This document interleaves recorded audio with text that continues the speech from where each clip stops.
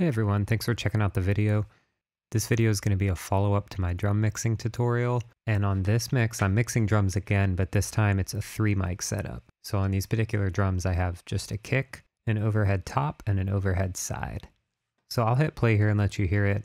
This is an instrumental track I put together for music licensing. It's kind of an upbeat acoustic pop kind of thing.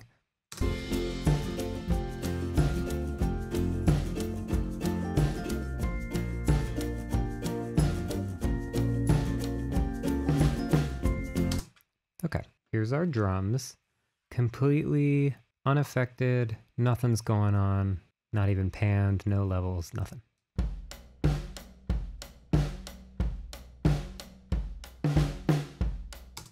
The drums were recorded on a Gretsch kit um, with a D6 on the kick on the resonant head, and then a pair of Cascade Vin-Jets in Glyn Johns arrangement. So that's one overhead directly over the snare drum pointed down, and then another overhead off to the right of the floor tom pointed at the snare. And I made sure to measure between those two mics so they were equidistant so the snare is in phase. It gets you a really cool vintagey sound. Um, I think it was used on a lot of Led Zeppelin records. So here's the top mic.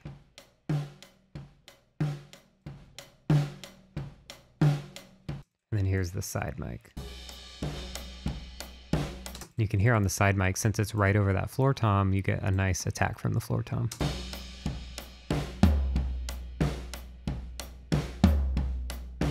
So I'll start off by panning these two a little bit to give us some width.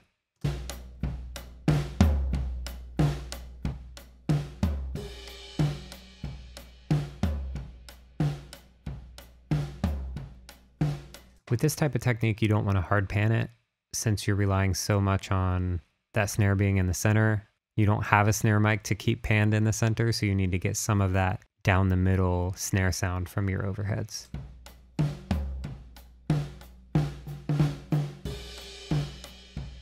I'll add the kick in. So the trick with drum recordings with few mics, it's a lot less about isolating each mic and a lot more about making the drums sound huge with limited sources. To start, I'm going to add a virtual mix rack on the kick here. I'm going to add in the trimmer just to start off with this phase reverse.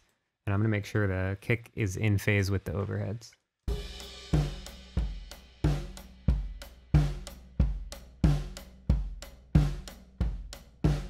So if you hear it when the phase is at zero and then flipped to 180, it actually adds more low end on the 180.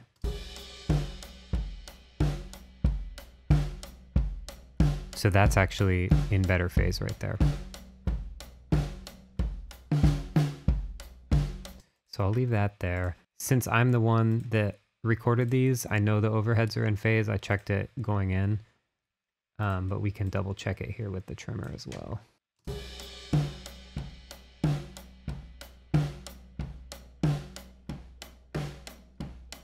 Here how all the low end drops out, we kind of lose some of the snare. Much more of what we want.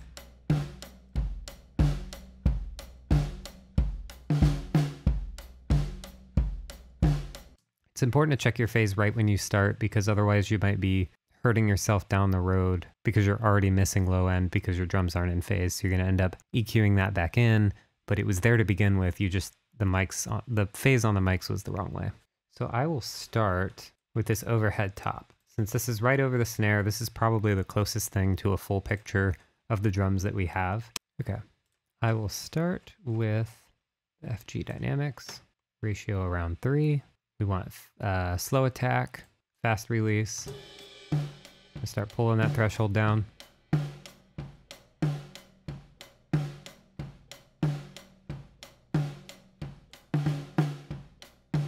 There we go.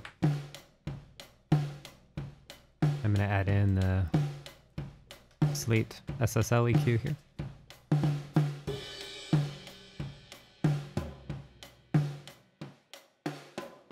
So we need to be careful on the high pass here because if we go too high, we're going to immediately lose the snare and we're relying on these two mics to give us all the toms too.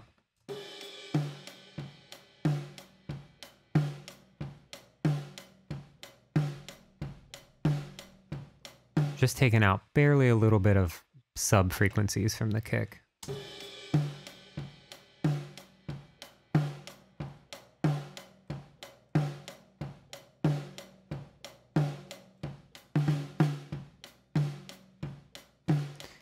We also don't want to be too aggressive on our cuts here because we're affecting the whole picture of the drums, not just one specific drum.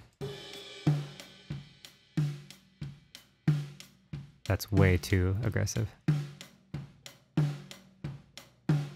Somewhere in there is nice.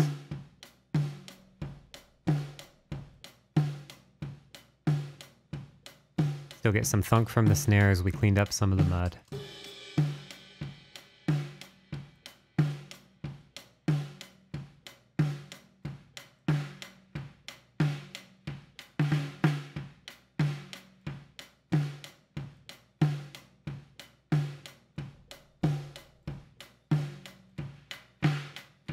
I like this detail right here at uh, 2.1K.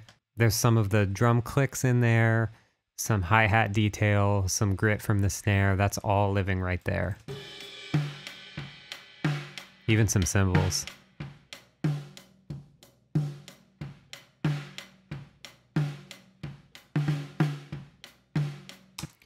Now I'm going to boost probably around 8K here. Since these were recorded on ribbons, there's already quite a roll off on the top, so I'm going to try to add some of that back in. The benefit of recording with ribbons in this style is that you can boost the top end and it won't get as harsh.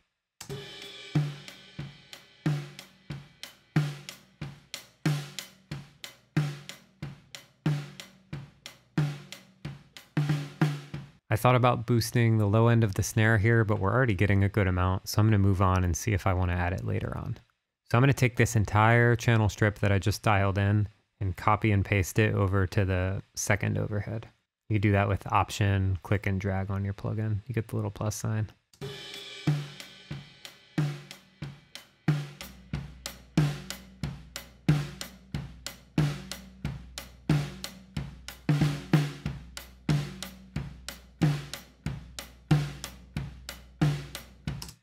So now you can really hear the tom start to pop out since we pulled some mud.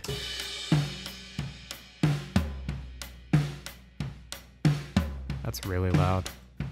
I'm going to pull the trimmer to about minus 3 so that when our snare hits, it's near minus 12. Might not be perfect, but it'll get us closer.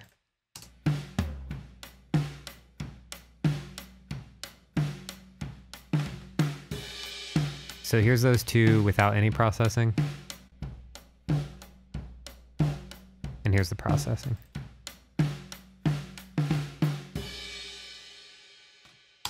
That's a great start. I'm going to move on to the kick. So I'm not sure if I want to gate the kick or not yet. I might play around with it and see if I like it. Start with this ratio around 3. Fast release. Pull the ratio. Pull the threshold down.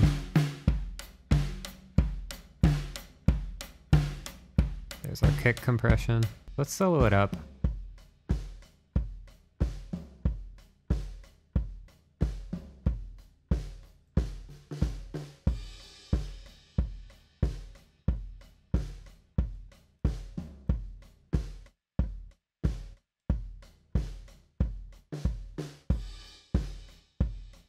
No, we're not doing it.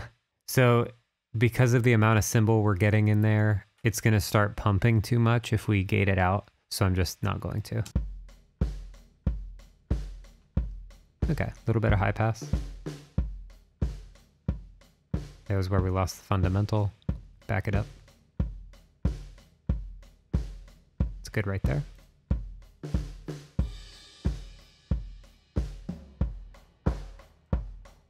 Find some mud.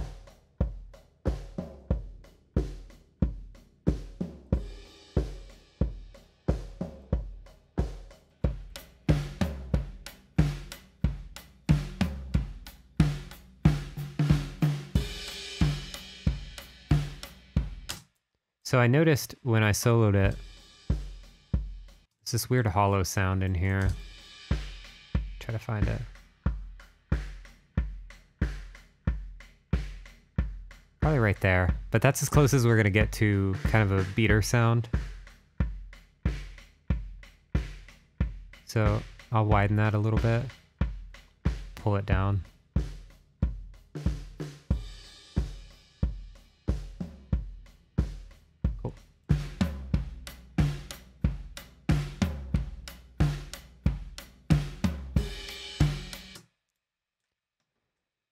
So I don't want to I don't want to boost too much of the high frequencies because we're going to end up adding in a lot of cymbal. So that's the gist of our close mics right there.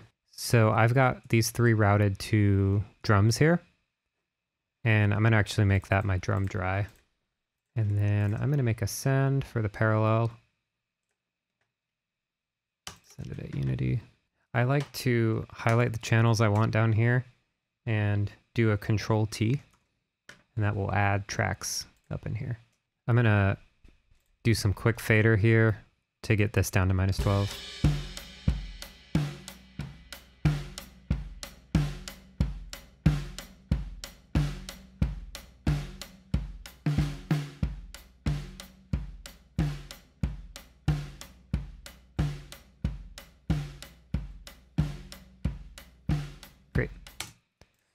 Our drum parallel, I'm going to start with the compression I usually use, but I might end up changing it because it's pretty aggressive.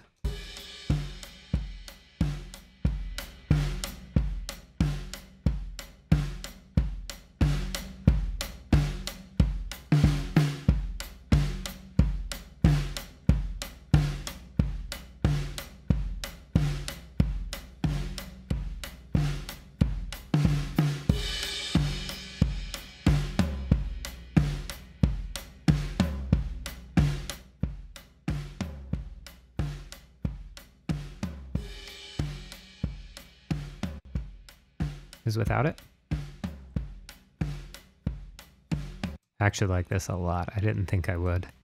Here's a cool thing I'm going to do to add some transient punch to this. I'm going to go to, where is it? Slate Digital. No, sorry, it's Kilohearts, Transient Shaper. Just start to push that up a little.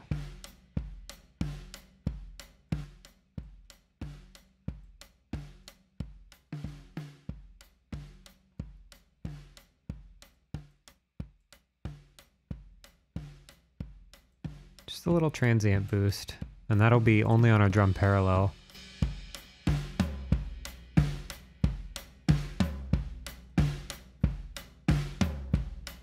Sounds nice. I'm going to go back to the close mics and add in FabFilter Saturn.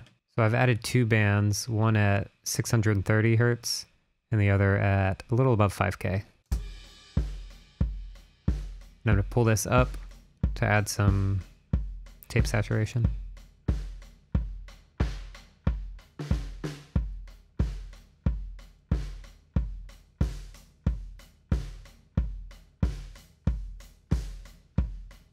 Too much up there, start to get more cymbals when I do. It's important when you're using FabFilter Saturn across a multi-mic setup like this that you use the same crossovers every time, even if you're not adding anything. Every time you have a crossover, you're interfering with the phase relationship of the mics, and so you want to try and avoid that. So I'm going to take this same Saturn, copy it over, and I'll start dialing it in.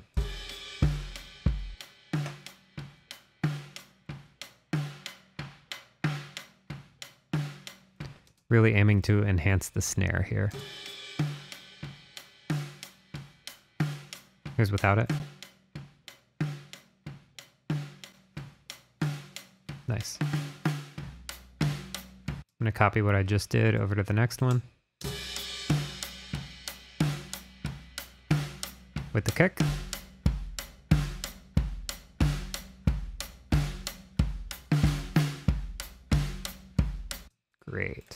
Have an aux set up here for room. So I'm going to go ahead and control T to add that. Make this drum room.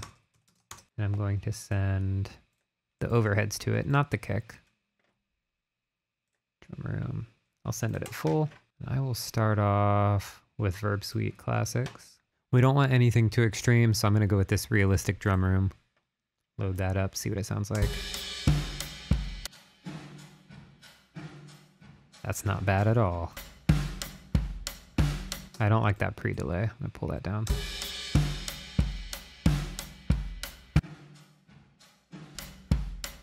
Ah, no, that won't work because it has like, still has a bit of a delay to it. Try realistic room two. That's better.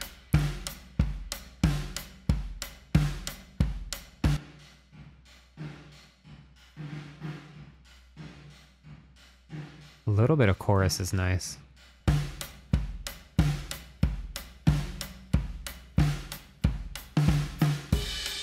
Playing with the width, since I don't have anything hard panned on here, there's room on the sides for more content.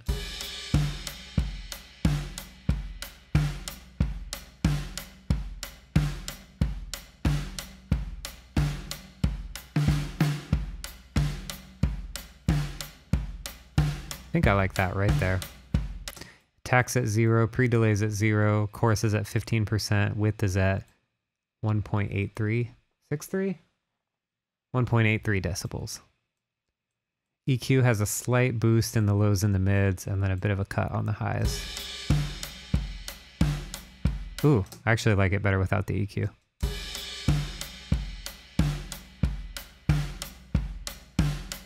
And instead I'm going to add my own EQ on the end and use it to clean up the low end.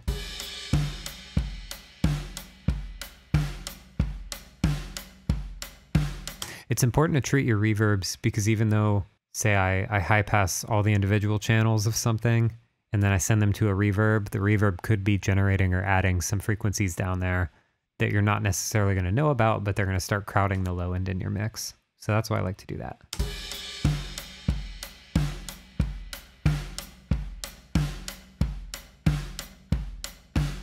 Here's without the room.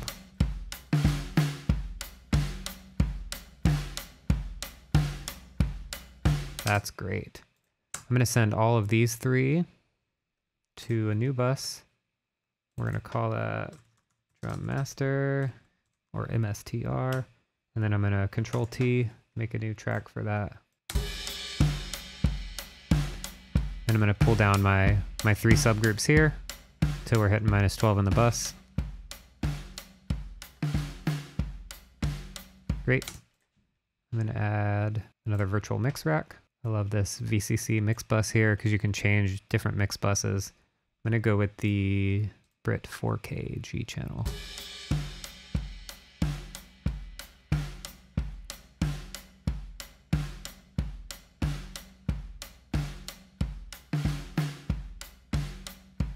I'm adding and subtracting gain until I'm hitting around unity on the preamp to get the right amount of saturation from it. I'm going to put an EQ here, a Neve style, and then if I want to do any other shaping to the drums as a whole, I could do it right here.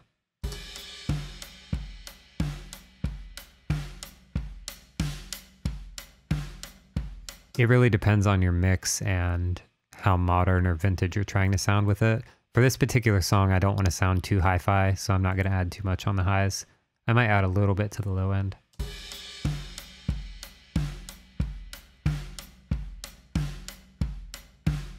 That's really going to come down to whatever your other instruments and things are doing. But I do like to have it here on this kind of mix in case I want to make changes. I'm going to add the virtual bus compressor gray, which is an SSL compressor style. I makeup gain back to zero. The release I'd like around 0.3, attack at 30 milliseconds.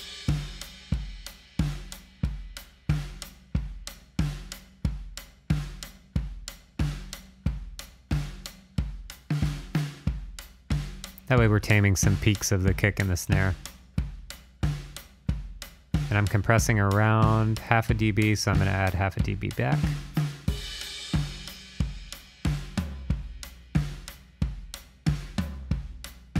still peaking overall here. Not a huge deal, but when I go to mix later, it's going to eat up my headroom.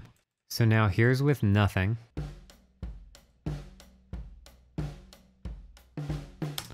Then here's with all my processing added.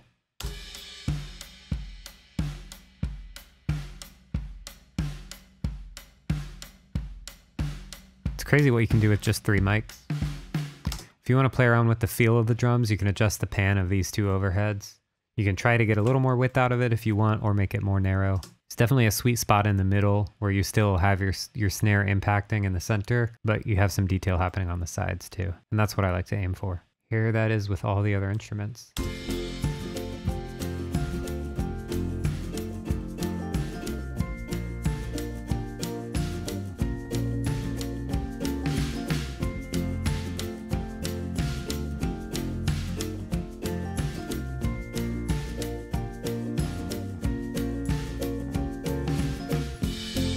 Some floor tom. Another thing you could do if you need more floor tom is come in here. It's a little tedious, but every time the floor tom hits, there's one right here. Just automate that up till the next thing hits. So I'm automating from when the floor tom hits until the kick hits. Just a few dB.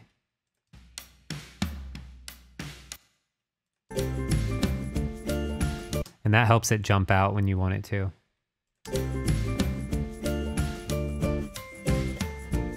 Thanks so much for watching. That about wraps up my drum mixing tutorial on a three mic drum set.